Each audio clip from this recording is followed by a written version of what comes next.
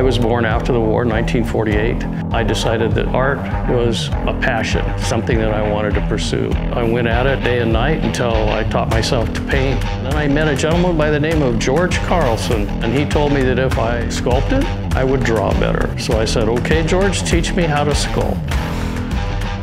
It takes me about two to three months to complete the process from the beginning to end. And then, when I'm done with it, then I take it to the foundry.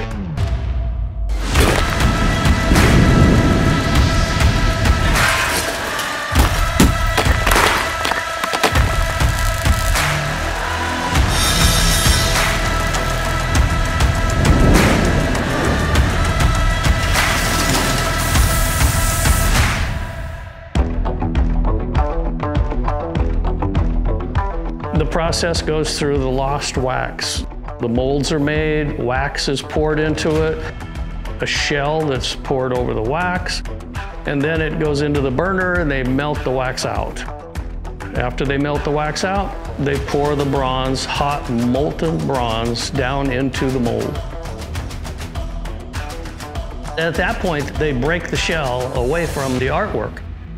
They bring it into the welders, and the welders have to put all of these pieces together, kind of like a jigsaw. And at the end result, you can't see the welds. Once they have it all welded together, then I go to the foundry and we apply the patina, the color. They heat it up, they spray the chemicals on it, and that etches into the metal.